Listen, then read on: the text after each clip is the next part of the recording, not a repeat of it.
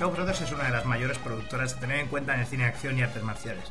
Su producción de esos géneros duró desde los años 60 hasta la primera mitad de los años 80.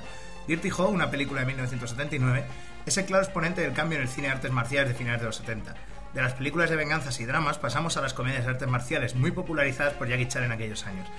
El director Lau Carleon había sido el primero en apostar por este género ante las clásicas películas de venganzas de Chang Che, el director estrella de la productora. Como protagonistas de este film tenemos a Wong Yue, un habitual de la productora Shaw Brothers, sobre todo en papeles de joven discípulo, y al muy famoso por aquella época Gordon Liu, hermano adoptivo de Lau Carleon y casi siempre encasillado en el papel de monje serio, por lo que es una sorpresa verlo en su vis cómica en este film.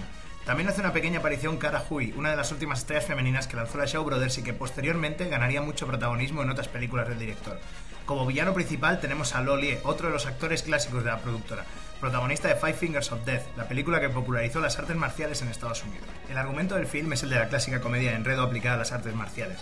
Ho es un ladrón de joyas de poca monta que se ve envuelto en una pelea para ganarse el favor de las prostitutas de un burdel flotante con el maestro Wang, un finolis y sofisticado vividor amante del vino y las antigüedades. Tras varios encontronazos en los que Ho sale mal parado al intentar golpear al maestro Wang, el cual hace creer al ladrón que no sabe artes marciales, Ho acaba siendo su discípulo a la fuerza. Entre otras cosas porque Wang le ha envenenado y es el único que tiene el antídoto.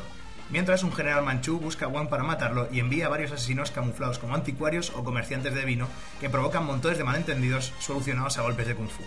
La identidad de Wang y el por qué no revela sus habilidades a Ho es el misterio que se resuelve al final, aunque si habéis visto varias películas de este estilo es muy fácil de adivinar.